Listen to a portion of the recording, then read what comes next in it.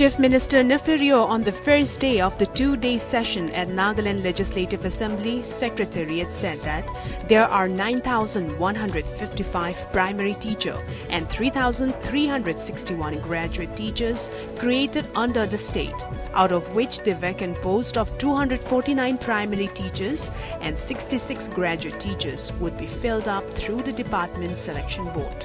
Replying to a starred questions by the opposition Naga People's Front MLA Yitachu on the appointments made under the School Education Department, Rio stated that three graduate teachers and 40 primary teachers were appointed since March 2018 on ad hoc basis and on compassionate ground. NPF MLA Imkong L. Imchen said that while the performance of the private and government school teachers cannot be compared, the salary components and workload is very different and the issue needs government attention.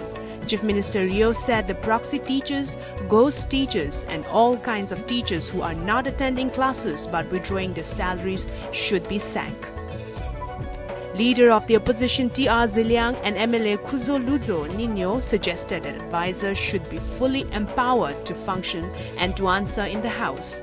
To this, the Chief Minister replied, the Minister in charge will reply. After that, any member can raise supplementary questions. Replying to a question raised by the MLA Nienu, Minister of Roads and Bridges, Tongpang said the total fund allocated to restore all the district headquarters roads was rupees 25 crore with priority being given to major roads with a distance of 116.455 km. He further said the department is taking up the work district-wise. Deputy Chief Minister Y. Patton, who also holds the home portfolio on the issue of influx of illegal immigrants, said the administration and police in the district are making periodic checks. The session started with obituary references by the Chief Minister and the Leader of Opposition on the passing away of former Prime Minister Atal Bihari Vajpayee and former Lok Sabha Speaker Somnath Chatterjee.